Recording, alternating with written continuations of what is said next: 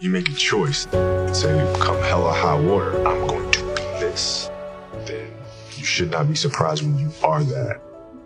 And I gave my soul to this game. There's nothing more I can give. Nothing. But I'm telling you, it goes by fast. And if you don't give it your all, you're going to regret it.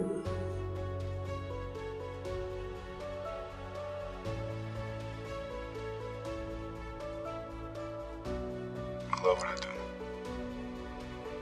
And it's as simple as that. What does love feel like for you? What does love feel like? So I think I describe it as a beautiful journey. You know, it has its ups and downs. Things are never perfect. But through love, you continue to persevere. You move through. You move through. Through that storm, beautiful sun emerges. Right? And inevitably another storm comes. And guess what? You ride that one out too.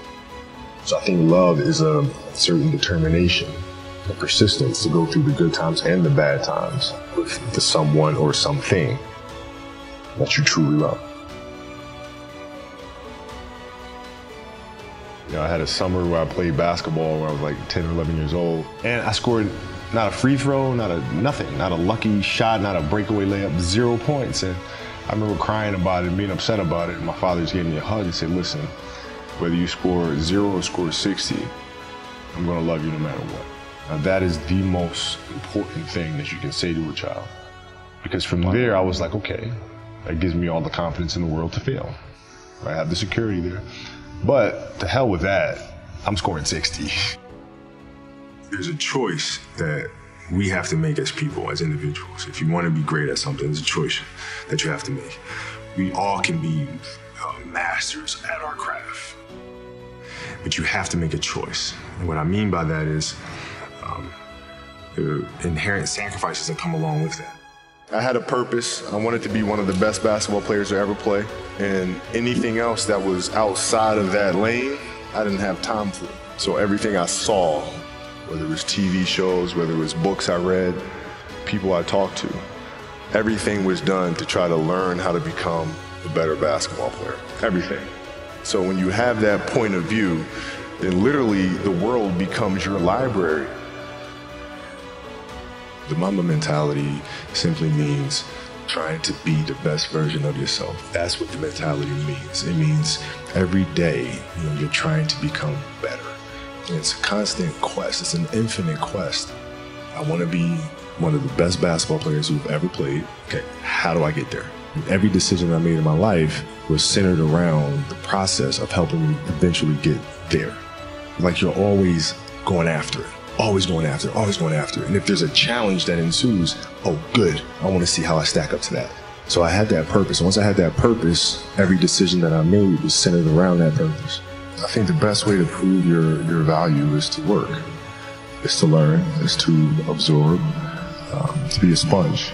You always want to outwork your potential. As hard as you believe you can work, you can work harder than that. Go after it, go after it.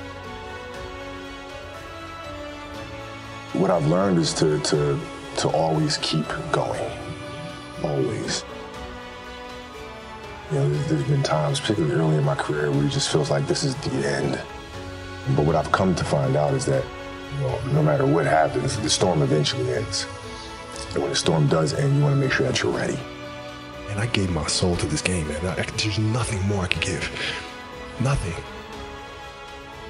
You guys know that you know, if you do the work, you work hard enough, dreams come true. You know that, we all know that. But hopefully what you get is the understanding that um, those times when you get up early and you work hard, those times when you stay up late and you work hard, those times when you don't feel like working, you're too tired, you don't want to push yourself, but you do it anyway. Um, that is actually the dream. That's the dream. It's not the destination, it's the journey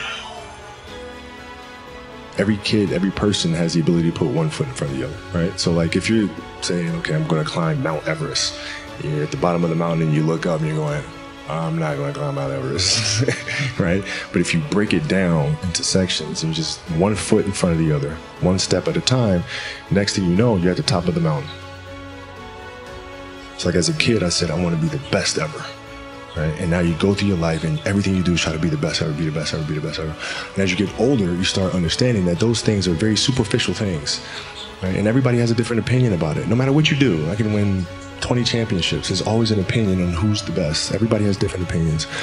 And so I started really kind of understanding maybe that's not the important thing. Maybe the important thing is to, you know, how do we as a team grow? How do I help my teammates be better? So that was the first change for me. And then as I got older still, it became more about how are you inspiring others, right, to find themselves. That is the ultimate championship. How do you use your passion and use that to inspire somebody else to create their passion? And then how can they pass that on to the next person? That is true success. The lesson I cherish the most is how important it is to love what you do. Always seek out things you love and always work hard once you find it. You can't stop people from trying to limit your dreams, but you can stop it from becoming a reality. Mind can handle the grind, but my body knows it's time to say goodbye. And that's okay. You asked for my hustle. I gave you my heart. This is what we talk about all the time. You know, you have a bump, bump in the road, you fall, you get back up, and you go after it again. Right? That's um, that's what we do.